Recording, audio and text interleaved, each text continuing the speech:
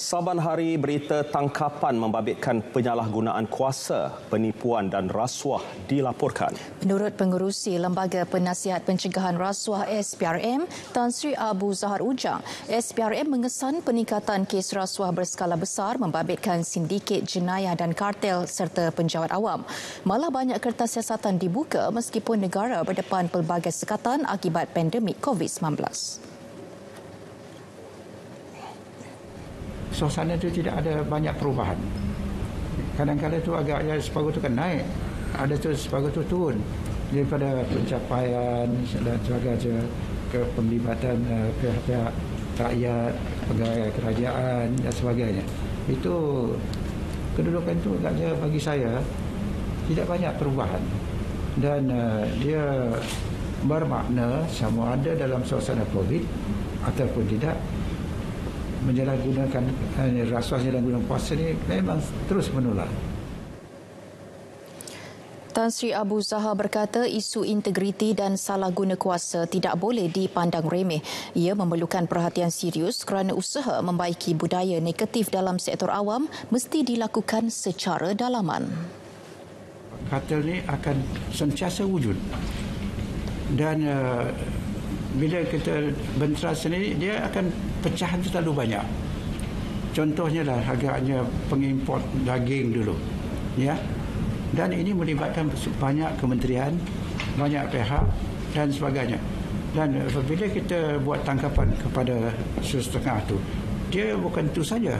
Dia punya berkaitan banyak lagi.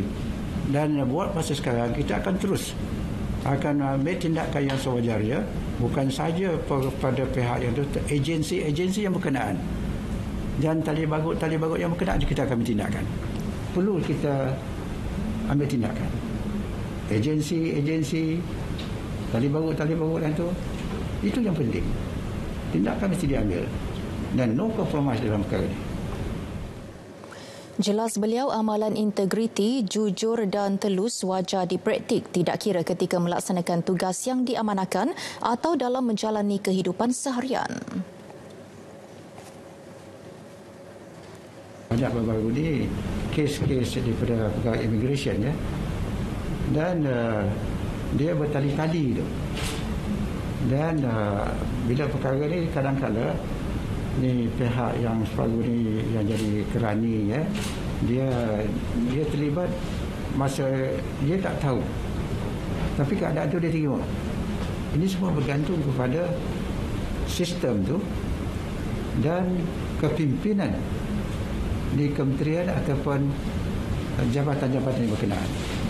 Kalau sekiranya ketua pengarahnya atau pengakanannya betul-betul serius dan strict ini boleh dapat kita uh, benteras